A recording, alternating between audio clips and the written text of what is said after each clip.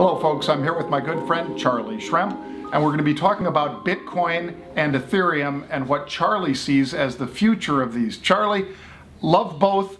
Uh, they're different, though. What are the differences? That's a great question, and I hold both as in my long-term blue chip portfolio. I think they're both amazing, and they both do two very different things. Bitcoin was built to be a long-term transactional currency and store of value.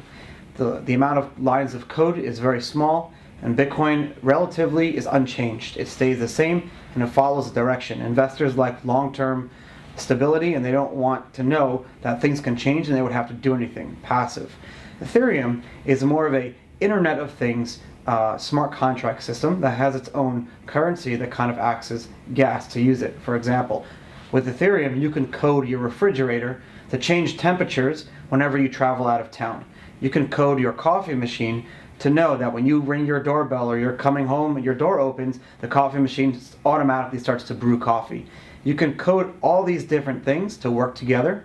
Um, even as big as building oracles and having insurance systems where you can send money to an address and if your flight is delayed, the address will automatically pay you out how much it'll cost to stay a night in a hotel. All automated, you don't need to have any third party. And powering this system is Ether, which is the gas that powers all of this. So they're two very different things. We've seen adoption over the past five or six years on both be tremendous. We have a big conference in New York this week with 8,500 attendees at Blockchain Week, and they are solely focused on cryptocurrency, but the majority, the overwhelming, overwhelming majority is Bitcoin and Ethereum.